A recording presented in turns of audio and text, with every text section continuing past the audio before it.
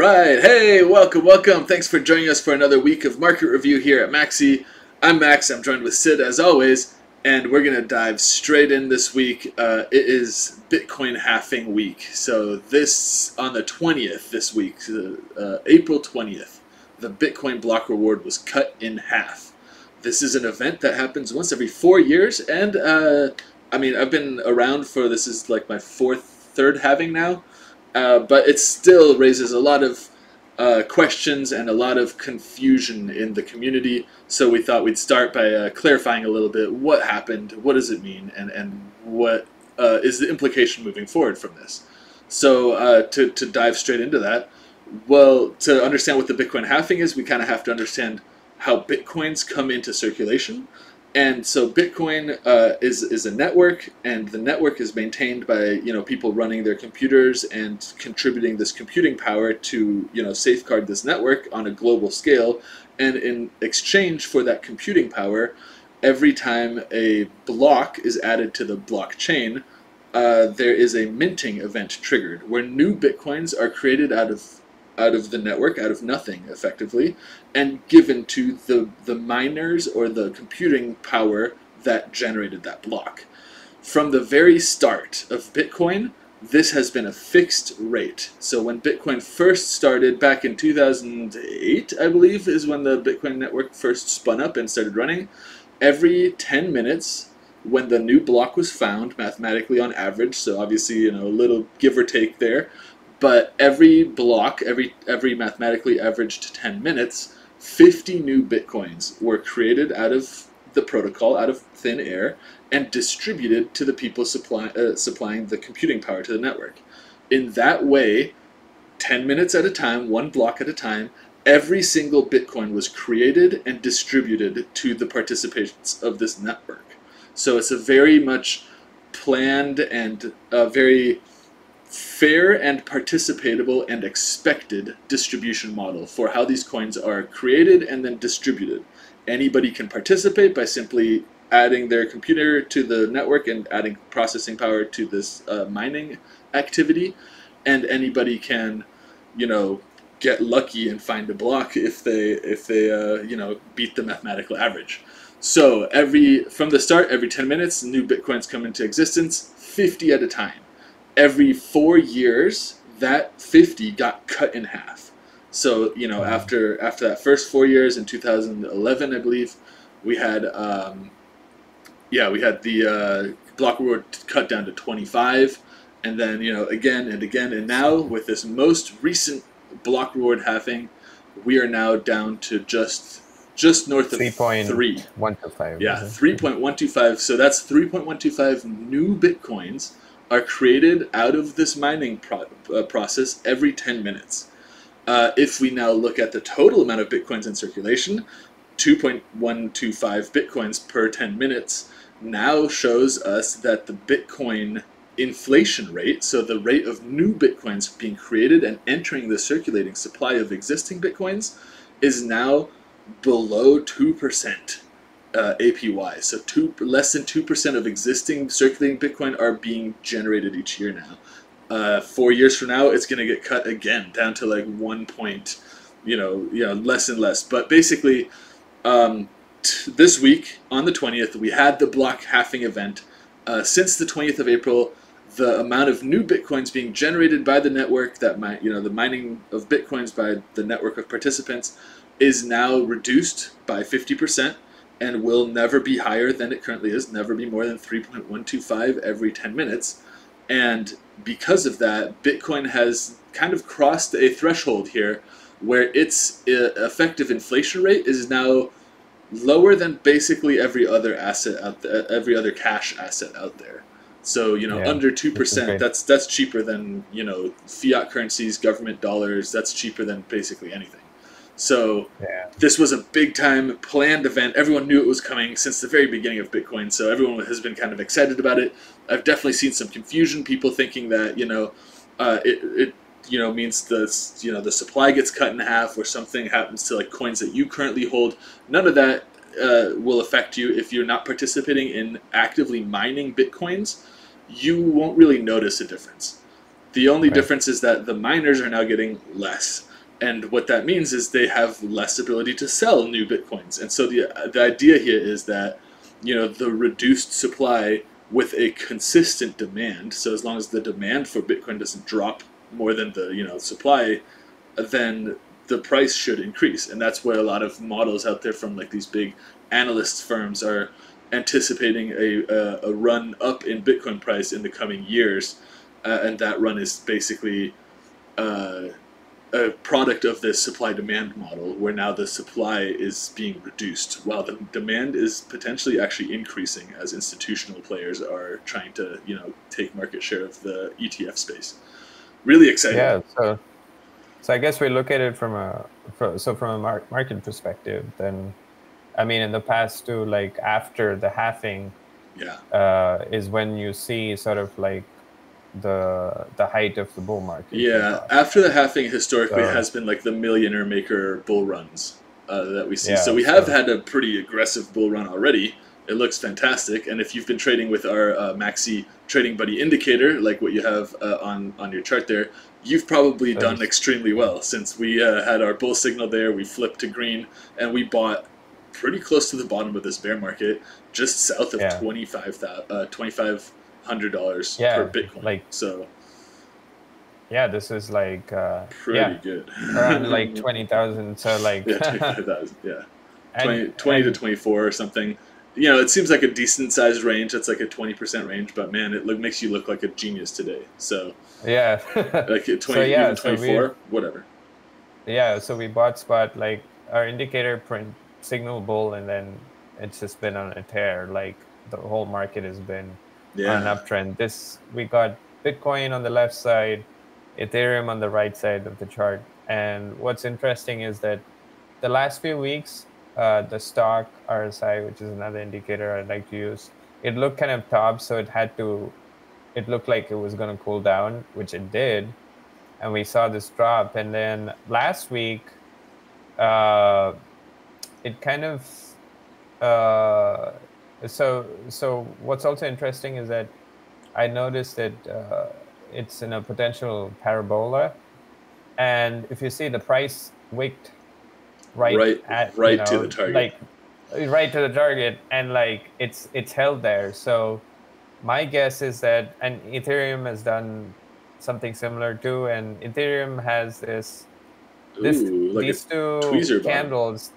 Yeah, tweezer bottom, where like basically both the wicks are close to equal.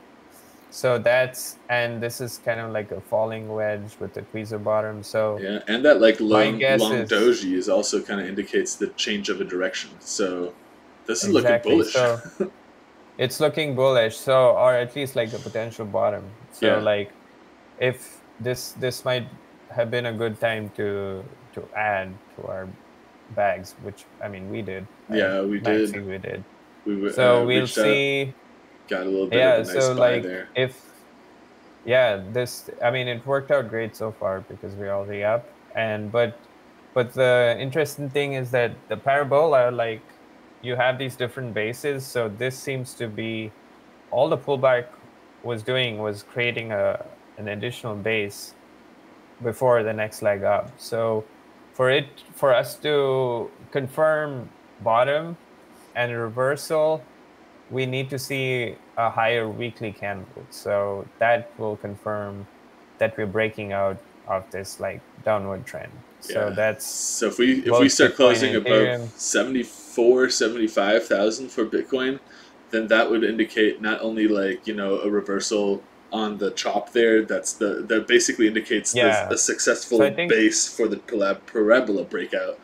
Which, if we do exactly. get that, like then we can run pretty good. Seven, yeah, so I think like seventy-one point five k is for Bitcoin, and I think Ethereum like would be like three point eight k. Like, you know, once it basically makes a new higher weekly candle, then that's when you get a confirmation. That's but a, that's what it's already looking like if it were to stay on this parabola, then like yeah, I think we're, this and, is already. And you're noticing too that the SRSI there is is approaching mm-hmm. the oversold side of its uh, of its exactly. range. So we, we definitely want to see some more buy pressure coming back to cool off or heat up, I guess, again the SRSI, get Mhm. that back off the floor, back into the like you know nice blue range there. Hopefully, push it all the way into the overbought and give us a big pump. But it does. Exactly. It is looking very, very like bullish in the sense that like the recent chop here in the market does not seem to have broken the model of the parabola just yet, and it does give Yep. us. Uh, it gives us the sense that we're, we're building a base for the next takeoff, and that next takeoff should be uh, like uh, either this the blow off top for this parabola, which you know, Yep. uh, which takes us pretty high up. Can you zoom out on that chart? How, where do we where do we land on this one? Yeah, so like um, I didn't want to. I, I was waiting for the the for us to leave the base to like then share the target because Oh, like we need a confirmation. But That's true because the wider the base goes, here- the higher the target becomes too. Is what you can get. exactly. So so from where we are right now, like uh, I think like you know like BTC. I think like maybe that's a little extended, but like you know at least for Ethereum. Like around 10k i think here, I think like, I think 10k would be more like, 10k is definitely possible for like Ethereum and for Bitcoin, it's actually like about a hundred and twelve thousand dollars. Damn. So that would be around 112, 113, like around there. So So we're that gonna would be the target. yeah, we'll have to keep an eye to see that this parabola stays intact, and then like you said, what we really want to see is that weekly close higher so that we get the confirmation of the breakout. Exactly. So like once once we have that, then the then the targets can be drawn more Exactly.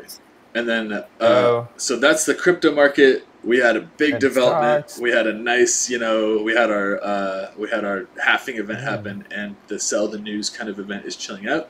And then here's the stock market. So last time we looked at it, we were looking at it being a bit on the over uh, bought side. It had it had been, you know, kind of flatlining. You can see on the SRSI there. And in the past few weeks, Yeah. we got that to cool off, which is exactly what we expected. So it, Yeah, it and our pulled back right like- to the target too. The that you had there for uh, four ninety five, like yeah, literally And, to the uh, T. right to the T. And like, of course, our indicator, like, it basically signaled a flip in trend right at the top. So see, you can see it went bear with the red band, and then price just started. Yeah, dropping so that's on the daily, and then the weekly. You can see we're actually staying above the band. So the weekly, the longer term trend, still not like flipping super bearish. And- Exactly. And, actually, you know, We uh, had cooling off and finding support kind of on our on our strength band, which is where the support should be in an uptrend. So this is still looking yeah, bullish. which is, which we, uh, which we also shared, I think, like last a few weeks ago, last week, that Mhm. price is trying to SR flip the monthly. Yeah. Uh, basically. So kind of like the all-time high price from the previous support. bull run is like the is the monthly t- like support resistance target now. So I, I guess Exactly. it's the monthly resistance, and we've broken through it already. But now what we really need is for it to fall back to it and bounce to move up again. That way, confirming Mm-hmm. that it's no longer resistance, but it has in fact become support. And that's Exactly. that's what we want to see Yeah, here. Flip, And it does start to look like that, like especially looking at Yeah. the, the weekly chart. Uh, the SRSI is looking more over uh, oversold. The Yeah. chart is still green, still north of the of the band, uh, and Mhm. staying above our, our support lines. So um, Yeah, so for it to continue in a bullish trend, price has to try to stay above the our indicator strength band. Yeah. Like it can briefly dip and then go back up. That's Yeah. fine, but like it shouldn't it shouldn't uh, start making lower highs and, and Yeah, and so lower, a, a lower big lows. A big way that we like to uh, track the indicator is you see how it prints bull and bear right on the chart, but it also has that uh, the band there that changes from red to green. So if we do get a bull print, we want to see the bull print alongside with a green band. So you can see Yeah. like for example at the very bottom of this QQQ chart there or, or the SPY, you can see uh, we had that bull print during a green band. So it was like, oh, this bull print is bullish. Whereas after that, you see we got that bear print that looked like it, it would have been a fake out. We would have gotten yeah. we would have gotten like our, our It's milkshake drink. And what happened you know what happened Yeah. there is uh, we got the bear print, which which is bearish, Uh, but we didn't get the color flip on the band, and that color flip is what confirms our, our indicators signaling. So we were able to Okay. ignore that bear flip entirely and not get you know uh, bear trapped because we want you know to see a bear flip with an indicator changing color uh, and Yep. dropping it. So you can see like the QQQ, even though we have uh, now in the last two weeks or so a big like red candle, you can see we're still on the green side of that, and all of this price activity, Yeah. although it was pretty dramatic, like that's a long candle, especially for the QQQ. You know, this is that was a volatile week. I think uh, Nvidia lost like two hundred billion dollars off its market cap or something. Yeah, they didn't do well with earnings and like Yeah. Tech earnings. AMD we have a bunch of tech earnings this week too. So and, that and could, yeah, but like it, it already looked like it was in a downtrend. So despite of Nvidia or not, so like, and of course it didn't help it like because Yeah. Nvidia makes up the QQQ and, a and lot. even when we see such a big candle in one day like that, you know, it can shake us out and be like very scary. But so that's another thing that I really love about the indicator, where it's like, okay, yeah, it's big, but this is still like very clearly part of a bullish trend. Like we haven't Exactly. flipped, we're not below the band. Like this is, you know, while the world is on fire, this is fine. Like the little dog picture who's drinking his. oh yeah, the meme. Yeah. Yeah, exactly. Well, you know, the kitchen's on fire, but it's it's fine.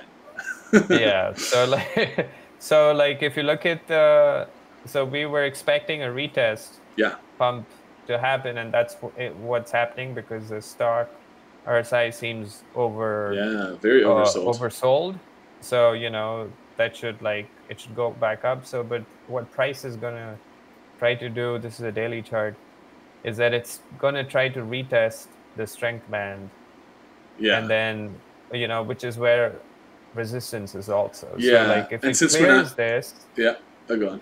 yeah if we if we clear this and then we can uh, we can say that okay we're gonna start making new highs after that Right. if not we we, We tap might- this and then like we then we'll retest the bottom end again. more, yeah. Exactly. So yeah, and then, So, like, like like- you see where where Sid has those um, support resistance line drawn out.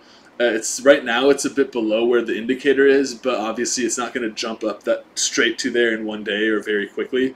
So over the course Yeah, of so like a few days or weeks, the band is going to come down and, and it'll it's likely gonna line up Yeah, I was gonna say it's gonna line up very close to that like 512, uh, 513 kind of range on the uh, SPY or the uh, Yeah. 437 for the QQQ there. So yeah that's that's kind of what we're watching for here. Is uh, you know it's Yep. look it's looking a little bit more bullish now, uh, which is a bit might of a be a green departure. week this week for Exactly, a little bit of a green week. stuff, yeah. It doesn't mean necessarily green week doesn't also mean that we're going to go into like a green month or something. So like like Sid was saying, we want to see us you know retest that uh, resistance and then break through it to flip it and then get our SR flip confirming the breakout. At which point, of course, new all time highs are back on uh, on the table for the stock market. And then, of course, in crypto, we did get to take a look uh, quickly at the chart, turning more bullish again. The parabola that has been in play for a little while, but that we just shared uh, to kind of keep an eye on here and hopefully give us a breakout into those astronomical all-time highs. Uh, you know, six figures for Bitcoin, uh, five figures uh, for ETH. So we'll hopefully break Mhm. those thresholds. Uh, fingers crossed on that big time. And then we also had our halving event, which is the block reward for Bitcoin was reduced 50% moving forward, and it's now below 2% in, inflation uh, for the Bitcoin total supply out there. Uh, that is something that everybody had been talking about, the news was like reporting on, but it is also something that isn't necessarily super intuitive and easy to understand. So we wanted to cover maybe the implication of that, which I think the most straightforward, understandable way to uh, digest that information is the supply of Bitcoin is being reduced moving forward, and the demand is not necessarily being reduced. So the idea on a general like 101 economics understanding it is lower supply, constant demand equals higher value. price yeah Um, but we'll obviously we'll have to see. It's clearly not a 101, you know, super simple uh, price dynamic Yeah. kind of equation. There's a lot going on in these markets. But, But with, we we'll trade the chart, and right now Exactly. it looks like it It's might have looking good. bottomed, and we're starting the next. it's looking up. good, and we were able to jump in on a nice little like entry target there when uh, when the market did sell off, but stayed within our uh, weekly kind of price trajectory. Of course, uh, volatility was obviously expected on the lead up to such a big uh, known event such as the halving. Uh, I would also throw in um, let's continue to expect volatility post halving, and also. Yeah. Given the situation, uh, you know, in, in the world right now, the uncertainty out there, and the um, the unrest in you know many parts of the world, that obviously uh, we're not you know following the news directly uh, as far as our trading motivations go, but we're aware of the news and we're aware of um, you know as traders and as, as people participating in these markets, we're going to be aware that volatility can be more expected when mm-hmm. these when these uh, tumultuous events are unfolding. And uh, while that's happening, I hope everybody stays safe and uh, is you know is able to uh, participate in this stuff, uh, you know, safely and and not kind of get shaken out by just some bad news or just some, you know, uh, crazy volatility, because yeah. it is expected.